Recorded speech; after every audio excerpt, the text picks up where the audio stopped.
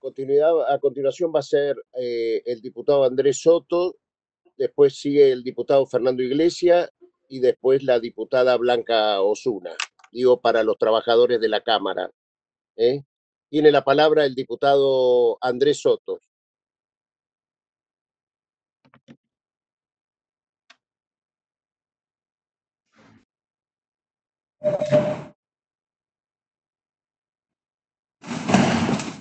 El siguiente, Eduardo, porque Soto no se encuentra presente. Perfecto. Tiene la palabra el diputado Fernando Iglesias. Gracias, presidente. Perdón, perdón. Sí, Fernando Iglesias, sí. Gracias, presidente. En primer lugar, me uno al agradecimiento por la presencia del canciller y espero que esta reunión sea además un augurio para toda la Cámara para una pronta reactivación del, del Congreso. Es muy importante el rol que juega el Congreso en una emergencia como esta y nos parece que eh, cuanto antes podamos poner en funcionamiento todas las comisiones y el recinto, va a ser mejor. Me congratulo también con su palabra, presidente, por la adhesión a lo dicho por la Merkel. A mí me gustaría subrayar un párrafo de su discurso eh, a la nación, porque un discurso extenso dirigido a todos los ciudadanos alemanes, donde dice, somos una democracia, no vivimos de imposiciones, sino de conocimientos compartidos y participación. Ojalá eh, la crisis nos encuentre eh, en esta sintonía. Voy a mi punto. Yo soy presidente de la Comisión de Mercosur, aunque aún no la hemos constituido. Eh, esperamos poder hacerlo la semana que viene. Y aunque el tema de los varados lo va a tocar mi compañera de bloque, la diputada El Zucaria, tiene una dimensión Mercosur muy específica. Nos llegan informes de más de 200 personas varadas en Río y de más de 100 personas varadas en Asunción. Y esto, me permito mencionarlo, parece estar en directo contraste con la resolución tomada eh, por los presidentes del Mercosur hace 20 días, eh, cuyo primer punto era facilitar el retorno de ciudadanos y residentes de los estados parte del Mercosur a sus lugares de origen o residencia. Esto es una declaración de los presidentes del Mercosur que no se condice con la presencia de todavía más de 200 argentinos solamente en Río y más de 100 en Asunción.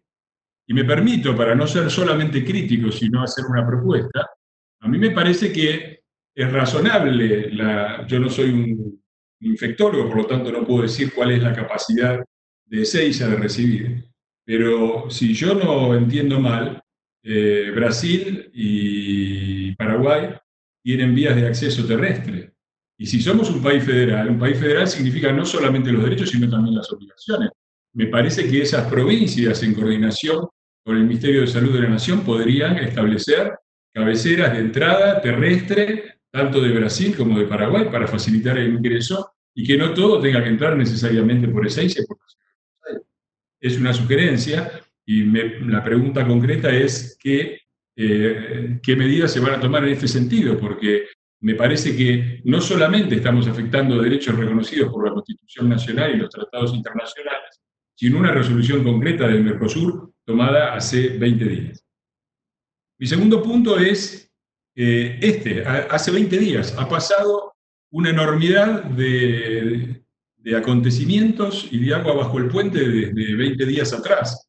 Eh, y me pregunto eh, si, cuáles han sido las consecuencias de esto, porque hay un montón de, son siete disposiciones, entre las cuales convocar organismos multilaterales de crédito, al BID, a la CAF o Plata para que evalúen líneas, líneas conjuntas de acción, disponer que los ministros de Relaciones Exteriores, Salud Interior organicen reuniones virtual, virtuales. Mi pregunta es si se cumplió con esto, si ha habido reuniones a nivel de Mercosur de los ministros de Relaciones Exteriores, de Salud y de Interior y Seguridad, y, y qué resultado ha habido a las gestiones frente a los organismos multilaterales de crédito porque si solamente conseguimos 16 millones de dólares, que es una gota en medio del océano, me parece que estamos en, serios problemas. Entonces la pregunta concreta es acerca de qué se hizo en este sentido y por qué no hay una reunión de los presidentes del Mercosur. Me parece que es momento de trabajar juntos,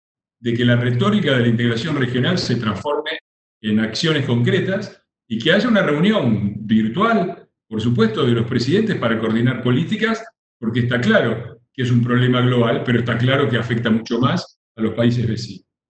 Finalmente, lo tercero es, hay un llamamiento que me parece de extraordinaria eh, importancia, una carta a los gobiernos del G20 realizada por, perdonen si no los miro porque estoy en otra pantalla viendo lo que dice, que tiene toda una serie de, medidas de urgencia muy importantes, como la creación de fondos con 8 mil millones eh, para vacunas, para reforzar la Organización Mundial de la Salud, para investigación. Eh, y esto lo han firmado. Además, incluye eh, un aspecto que creo que hay que empezar a hablar ya.